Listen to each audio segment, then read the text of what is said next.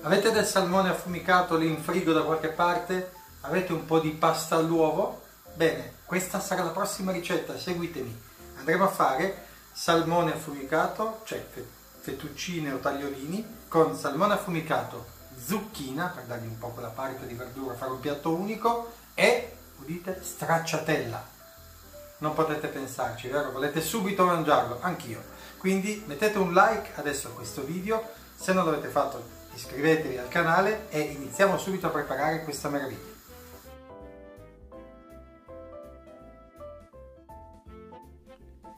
Inizio tagliando la cipolla a fettine sottili, non tutta, eh, ne useremo una parte, perché faremo un soffrittino con un po' di burro, poi vedrete, poi vedrete. Tagliamola fine fine, fine fine, potete usare anche cipollotti, o se a chi piace magari il porro, potete utilizzare anche lo scalogno se volete, però direi che questa bella cipollina di tropea mi sembra adeguata. Dopodiché prepariamo anche le zucchine, togliamo le estremità, così, e via, facciamo delle fettine il più sottili possibile, così, senza tagliarvi le dita. Mi raccomando, utilizzate sempre le nocche come separatore dalla lama. Perfetto. Una volta preparate tutte andiamo a tagliare il salmone affumicato. Come lo tagliamo? Ma fate un po' come vi pare. Tagliatelo a striscioline, a cubettini. In questo senso, diciamo, in questa cosa non c'è una, una vera regola. Come vi piace. A me piace che sia più o meno di queste dimensioni. Così. E poi l'altro lato un po' così come viene. Perfetto.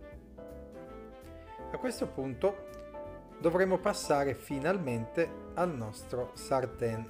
Quindi un po' di burro, una noce abbondante di burro, lasciamo sciogliere appena appena. Quando già si è un po' sciolta aggiungiamo finalmente un mestolino d'acqua. Perché? Perché ora ci aiuterà a fare stufare, non solo soffriggere, ma stufare le zucchine che adesso aggiungeremo. Ora vi faccio vedere facciamo sciogliere tutto e voilà mettiamo prima la cipolla vedete deve essere una fiamma diciamo medio bassa in questa fase. Dobbiamo proprio stufare lentamente le nostre cipolle. Così. E poi possiamo aggiungere chiaramente anche le nostre zucchine. Così. E adesso mescoliamo affinché, come ripetiamo spesso, i liquidi di vegetazione, sia della cipolla che della zucchina, si mescolino. Vedete?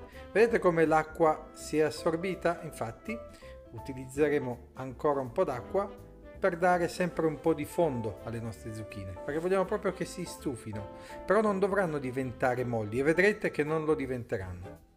Alziamo leggermente la fiamma, adesso pepiamo così e poi gli mettiamo un po' di sale io in questa fase utilizzo ma è solo proprio una scelta così che a me piace il sale rosso delle Hawaii perché ha un sapore particolare. Però voi potete utilizzare insomma qualunque sale avete non, è, non, non farà la differenza. Magari i palati un po' più fini riconosceranno un punto di dolcezza di questo sale. Mescoliamo tutto bene bene se non saltando anche solo con, con il cucchiaio così o con la leccapentola poi leggera zesta di limone ma proprio leggera perché in questa fase è solo per dare un grado di acidità visto che abbiamo utilizzato eh, molto burro eh, diciamo che il limone aiuterà a equilibrare il sapore quindi non dovrà essere un sapore prepotente o dominante perciò poca e molto leggera. Eh. Continuiamo sempre a stufare utilizzando l'acqua di cottura, che chiaramente è già salata. Perfetto. Vedete? Adesso arriva il momento della pasta. La pasta fresca, quando la mettiamo, meglio lasciarla 20 secondi, Dopo 20 secondi possiamo muoverla in questo modo, in maniera che si separi facilmente e che quindi riuscirà poi a cuocersi uniformemente. Vedete? Così ogni tanto la muoviamo per vedere che non, non si sia attaccata, ecco. Nel frattempo aggiungiamo alcuni pezzi di foglie di basilico così tagliate a, male, a mano. Eh? Tagliato a mano così, spezziamo e buttiamo dentro.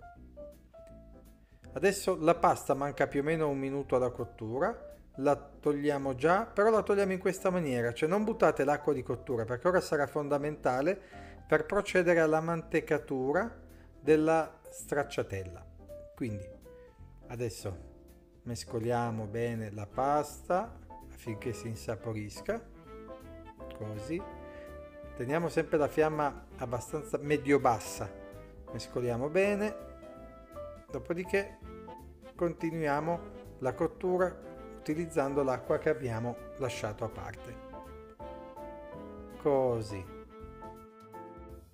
E adesso signori e signori quello che non ti aspetti la stracciatella. In realtà vi dico che se non avete la stracciatella a disposizione potete utilizzare anche la panna, in alcuni casi anche un po' di yogurt greco ben mantecato con, con del formaggio, però con la stracciatella, mamma mia. Di nuovo, anche se ho messo la stracciatella, continuo a fare la mantecatura. Come? Aggiungendo acqua e parmigiano o nel mio caso io metto pecorino romano perché l'ho volutamente lasciata un pedino indietro di sale perché mi piace più il sapore del, del pecorino. Così. Vedete come si sta crema, creando la crem, cremina? Vedete anche il fondo? Comincia a filare così. Ora aggiungiamo i tocchetti di salmone. Non tutti eh, lasciamone qualcuno da parte per la decorazione così i vostri ospiti rimarranno colpiti perché avranno un salmone in, per così dire in doppia densità, no? doppia consistenza. Così aggiungiamo sempre acqua. In questa fase deve essere solo proprio scaldato il salmone. È finita la cottura della pasta. Le zucchine noterete che non saranno molli, saranno veramente perfette. E adesso l'impiattamento lo sto facendo XXL eh, perché a me piace così. Perfetto, vedete? Adesso decoriamo. Quindi aggiungiamo il salmone che abbiamo lasciato da parte. Così. Poi mettiamo adesso un po' di zest di limone in questo caso anche decorativa, oltre che in questa fase darà un po' eh, di sapore in contrasto anche con il salmone che è abbondante come vedete, vedete?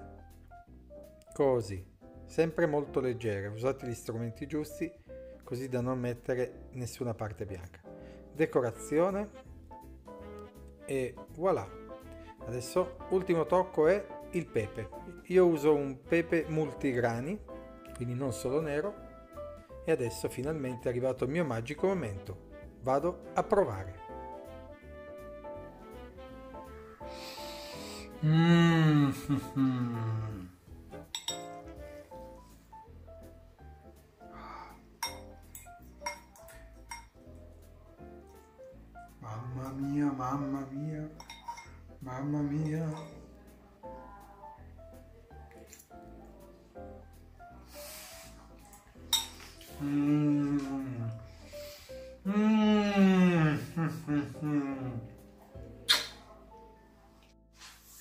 Mamma mia ragazzi, ragazzi, che cosa ho preparato oggi? Veramente da fuori di testa, da arresti domiciliari. No, comunque veramente una ricetta spettacolare. Fra l'altro potete dare sfogo alla vostra fantasia perché ci sono veramente altre varianti che si possono fare su questa ricetta. Anzi, se ne avete qualcuna, indicatemela. Se vi è piaciuto questo video mettete un like, se non l'avete fatto come sempre vi esorto a iscriversi al, iscrivervi al mio canale e vi ricordo che tutte le ricette le trovate anche per iscritto sul sito web www.giuseppegigliochef.com. Molto bene, dall'Italia, dal Piemonte è tutto, arrivederci alla prossima ricetta. Ciao!